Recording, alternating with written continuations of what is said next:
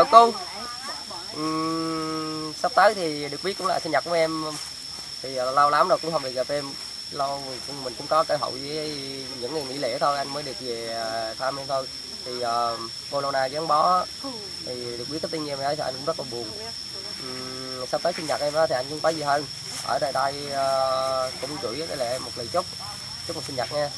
Uh, có cơ hội thì khoảng đầu tháng 7 sẽ về chắc chắn anh sẽ ra Đà Nẵng thăm em à, nhớ là em uống điều độ nghe uống sữa điều độ.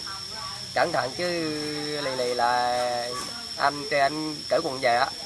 Châu Long không Kê. Nay là không có con bì chứ nếu có nó thì chắc nó thấp tay đã. Chắc gần tới sinh nhật mày rồi. Chúc mày sinh nhật như vậy ờ, nói chung là cũng không ngờ chuyện đấy cái này nhưng mà người mong cho mày là nói chung là sẽ thấy hồng hồng chứ ờ, nói chung là mày đẹp đó mà mày như vậy thì chắc là mày cũng đời rồi đó nói chung là cố gắng bảo vệ thì sức khỏe đó là nói chung là đem đem vui tới ba mẹ nói Hey, hôm nay sinh nhật à? Hello. Nhật của mày rồi. Sao bắt tay luôn để công.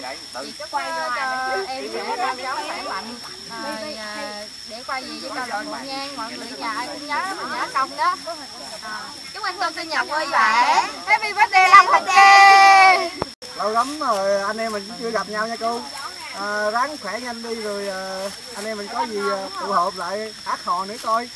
Rồi chúc mừng sinh nhật cô nha à, sinh ờ. nhật hôm nay không có cơ hội gặp mày thì ờ, mày. cố gắng năm sau ờ, anh em mình gặp nha. Đừng có để tình trạng như thế này nữa. Ai cũng buồn hết chứ. À, thôi, à, sinh nhật vui vẻ nha. Rồi anh em mình cùng hát bài chúc mừng sinh nhật luôn nha. Một hai ba. Happy birthday to you. Happy birthday to you. Happy birthday Happy birthday Happy birthday. Happy birthday to you. Happy birthday. you. Happy birthday.